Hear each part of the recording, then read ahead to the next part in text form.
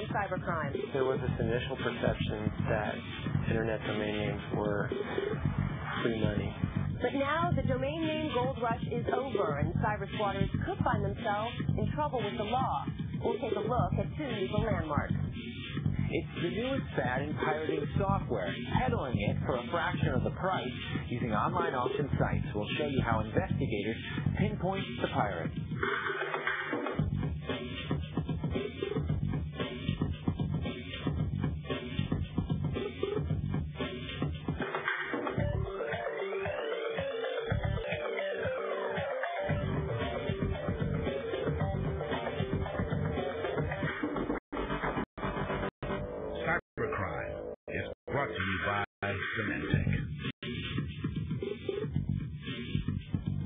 Hello, welcome to another show. This week, no doubt the big news in cybercrime was Carnivore and the fact that the FBI was called out to defend its surveillance system before Congress.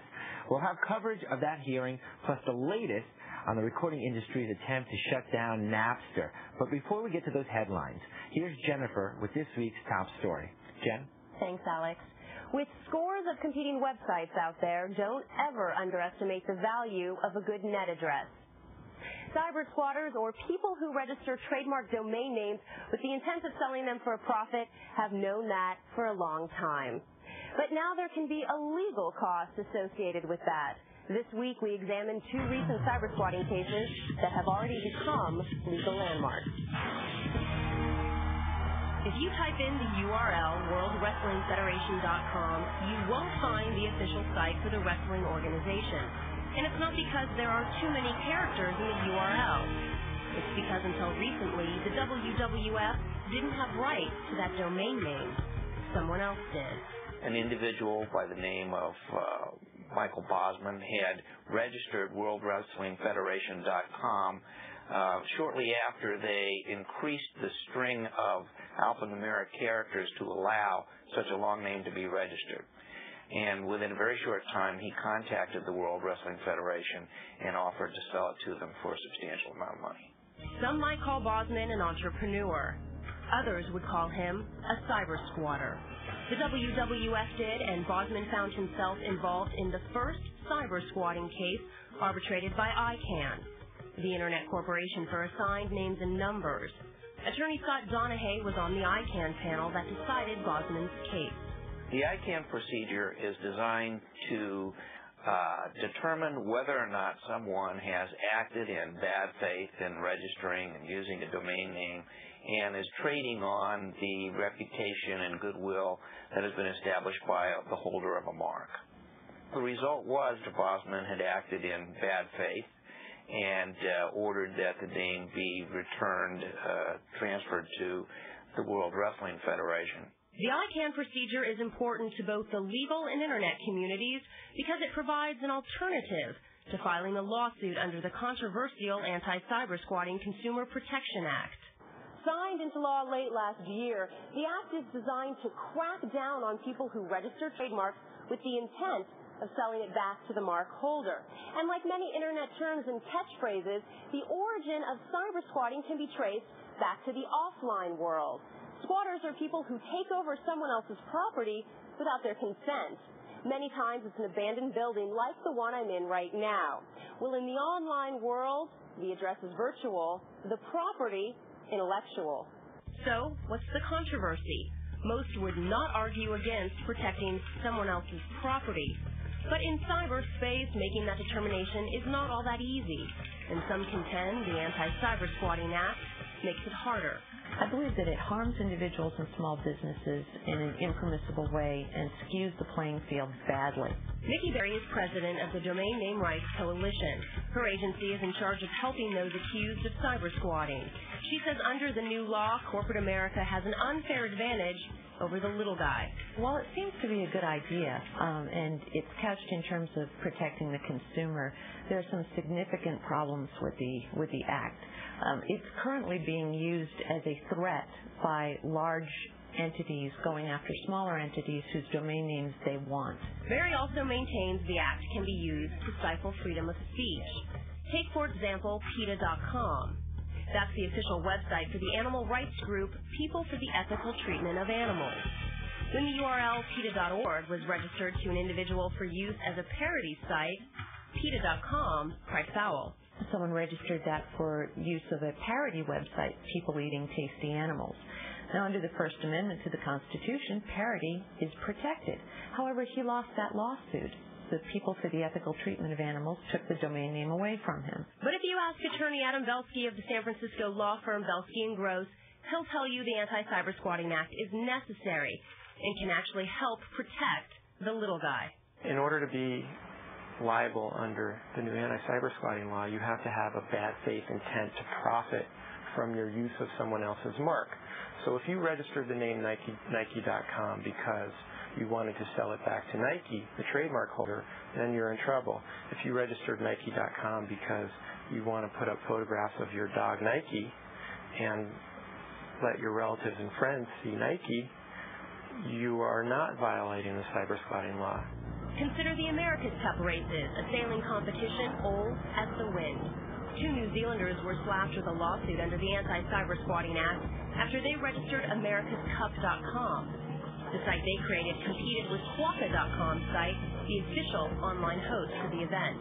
They used official logos. They made it appear as if there was it was some sort of officially sponsored, officially sanctioned website. Um, and uh, we're then using that to make money off of the America's Cup. They hope to hold the domain name, which is very valuable, for ransom.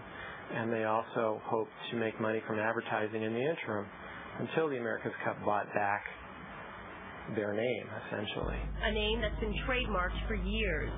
A clear case of cyber squatting, it never went to trial. The two men settled with Quokka. So is the threat of a lawsuit under the new act enough to scare off future cyber squatters? Just as you have trademark infringers running around in the in the real world, you'll continue to have trademark infringers running around in cyberspace as well. I think it will serve as a deterrent, but it, it, just as uh, I think laws against murder serve as a deterrent, but they don't stop murder. An interesting thing about the ICANN proceeding is it can happen in 45 days. Now, the first case was the World Wrestling Federation that you referred to in your story, and that was in January. What, What's happening since then? Well, since then, 500 cases have been decided, and there are a thousand. I'm told there are a thousand cases pending. So clearly, we're getting an indication that the legal community and the internet community is seeing the ICANN procedure as a reasonable alternative to filing a lawsuit. Right. Well, there's no judicial proceeding that's going to happen in a matter of 45 days. So that is that that's definitely a very positive. Famous marks, it makes sense to me. You have like the Nike example right, in your you story. About Nike. Um, Marlboro, names that we're familiar with. What about famous names? Well, that you bring up a good point, Alex, because very clearly, if like we use the, the Nike example in the story, that is a trademark name, and you can you can pretty much figure out intent if there's bad faith intent if you register Nike.com. But when it comes to say a famous name, that brings up a whole other area, and we're starting to see cases where people are registering famous names of people and then they're sort of holding them for ransom and even offering to sell them back. And that brings up a whole other area of cyber squatting. And so the World Intellectual Property Organization is considering expanding ICANN's jurisdiction to include protection of famous names. The law that deals with cyber squatting, it's uh, it's a little tricky. It is a little. You know, it is with tricky. the bad it's controversial. faith. You think about like Veronica. I know there was a case involving that from right. Archie's comics, mm-hmm. and again, that could be either way. So I think that it's going to be tricky as we go along the way. But uh, we'll continue to follow these legal landmarks. Thanks very much for the report. You're welcome. Uh, now turning to our poll. No doubt you have a strong opinion about cyber squatting. So tell us what you think. If you agree with the Anti-Cyber and Consumer Protection Act, select A. If instead you think the ICANN procedure is the way to go and we don't need more lawsuits flooding the courts, pick B. Or perhaps you disagree with both approaches and think first come, first served. Cyber squatting should be allowed. That's C.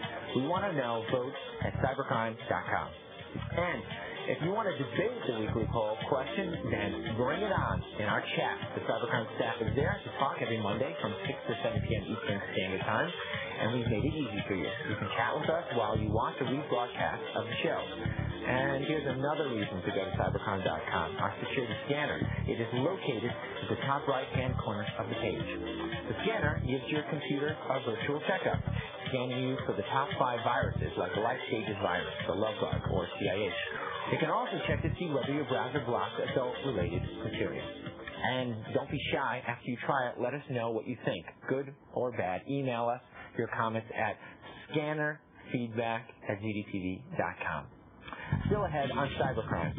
Carnivore is simply an investigative tool that helps us to investigate online in the same way as in the physical world. The FBI's Carnivore surveillance system is drawing fire in Washington. So, does the system violate your privacy rights online? The details next.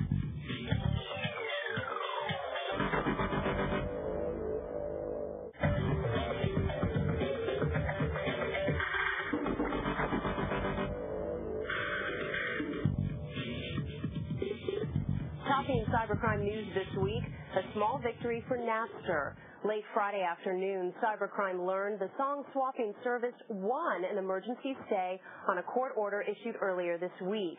Napster filed the motion on Wednesday after a federal judge issued a preliminary injunction against company ordering Napster cease operations by midnight Friday. You may recall when issuing the initial decision, Judge Marilyn Patel cited the high likelihood that the Recording Industry Association of America would win its lawsuit against Napster. Upon hearing the initial ruling, General Counsel for the RIAA had this to say. Our hope is that the court's decision, which was very, very clear and very, very strong, will send a very clear signal to all those other companies making litigation unnecessary. On Friday, before the emergency stay was granted, Napster's CEO Hank Barry urged its 20 million users to show their support by buying their favorite CDs in a boycott. He also asked that they write a letter to the record companies telling them they support the artists. The final decision on whether to shut down Napster for good will be made when the case goes to trial at the end of the year. Meantime, the FBI takes the offense on Capitol Hill. At issue, its new email wiretapping tool called Carnivore. The system can be programmed to sift through millions of email messages looking for a specific suspect. Critics of Carnivore fear it compromises the privacy of law-abiding citizens but this is a uh, totally new environment, and I think that uh, the FBI has to step gingerly, but we all obviously have a responsibility to uh, engage in legitimate law enforcement activities uh, in terms of surveillance. But who monitors this? And I just want to emphasize to you and to the American people that this is a uh, a tool that is deployed rarely and it is never deployed without a court order. In the last year alone, Carnivore has been used in 16 cases investigating terrorism, child pornography, and credit card fraud. Stay with us. There's more coming up on cybercrime. He was selling them all over the country. It wasn't just in San Jose, but he was selling them in almost all 50 states on the internet. This undercover investigator is talking about a man who sold pirated software using online auction sites. See how the San Jose high-tech police picks up the pirate next.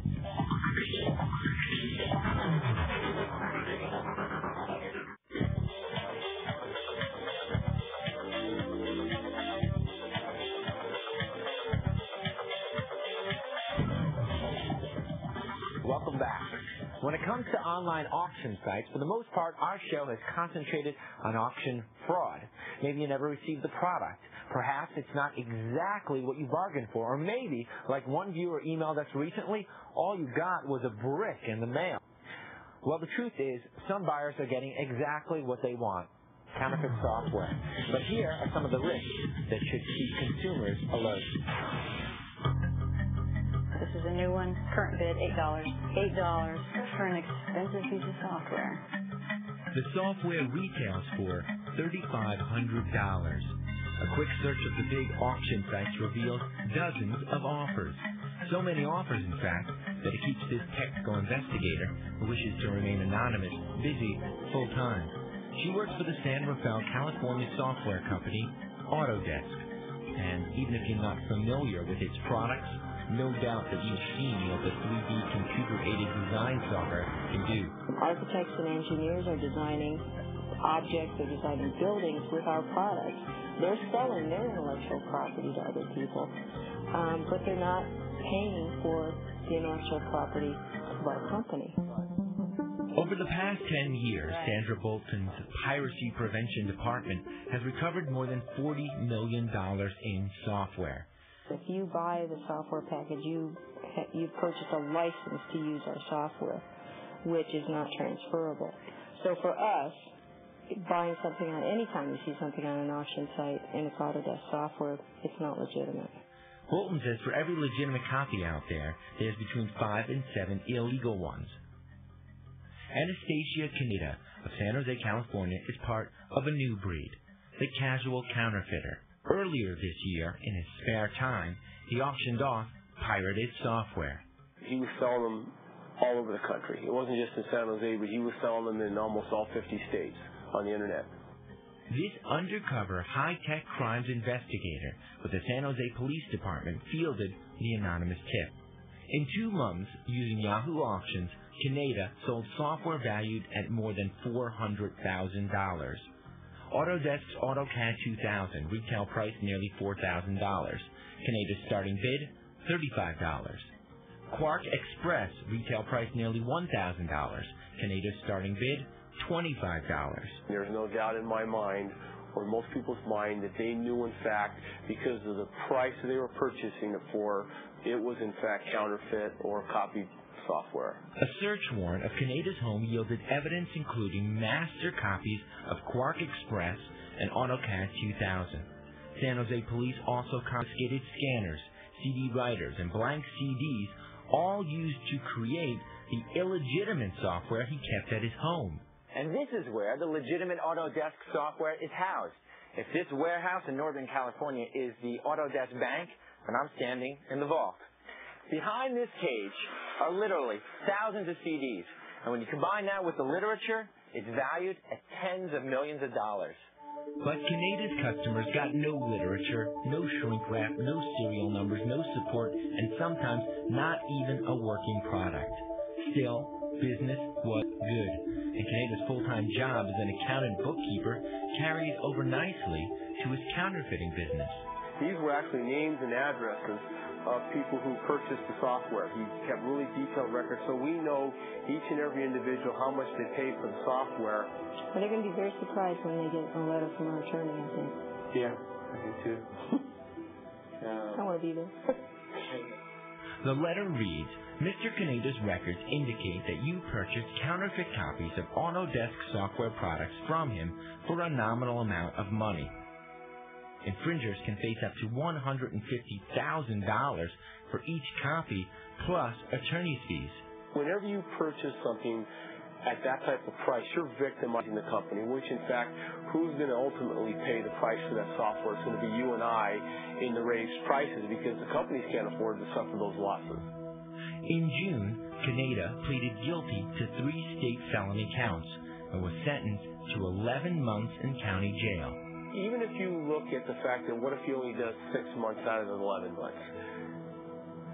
Was that worth the price of losing a very well-paying job, having your family embarrassed like that, and then the potential of losing your house? You got to ask yourself that question. I asked Sandra Bolton, who you met in the story, why she thought so many people pirate software. I mean, worldwide losses for software piracy in 1999 were over $11 billion. She said it's cultural. You're alone in your home. There's this sense that there's no risk. But as we saw in the story, the victim companies are seeking large civil damages from the buyers. And even though the San Jose PD says they're not pursuing criminal charges, you should know that if you've done business with Anastasio Kaneda, the feds are now reviewing the case. There's still more ahead. So they're a target for cybercrime for the first time, and they're not expecting it, and they're not used to it. Ryan Leland from SonicWall discusses what the internet will be like three years down the road. What are the new risks users face with advances in technology? His chaos theory is next.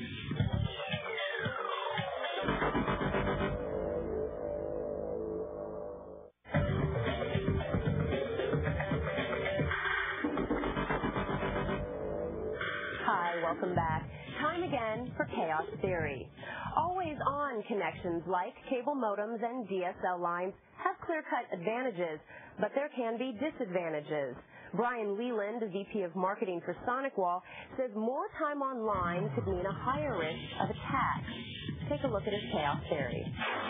In the next three years, several hundred thousand people who've used their computers and the internet for a variety of purposes and who've always been and felt safe will no longer be safe. That's the whole population that for the last oh, several years have used dial-up lines to get into internet service providers. Over the next couple of years, those people will go to DSL and cable connections. And DSL and cable connections are always on. So they're a target for cybercrime for the first time, and they're not expecting it, and they're not used to it. Why are they a target? Well, partially there's a whole new range of people looking for them who are not in the highest echelons of cyber criminals, but are looking for easy local targets for bragging rights at school. Dentists, lawyers, um, accountants, those kind of people are ideal for that because it digs up information that's relevant, local, and it's nice to recognize the people whose data you steal. So another chaos theory is done and so are we. Thank you for watching. Make sure you join us next week when we bring you a half-hour special on the biggest hacker convention in the world, DEF CON. It shows the public that hackers aren't like evil and bad. For the eighth year in a row, the Massive Hackers Conference will take place in Las Vegas. Thousands of members of the underground and even some feds trying to keep a low profile will attend. Jen and I will be there this weekend to huddle with the hackers. We'll bring you all the highlights in a full report next week. But if you can't wait until then, swing by our website to watch our exclusive video and text coverage from patriotic hacking to social engineering to what the feds are up to at DEF CON. We're posting tons of video this weekend beginning Saturday night at 9 p.m. Eastern, then the next day's events at 9 p.m. Sunday. This is great stuff. You'll find it at cybercrime.com. Until then, if you have story ideas or questions for our Q3 panelists, email us at cybercrime at zdtv.com. And don't forget to join us in chat Monday, Monday. from 6 to 7 p.m. Eastern Standard Time. We'll see you next week. Bye-bye. Bye.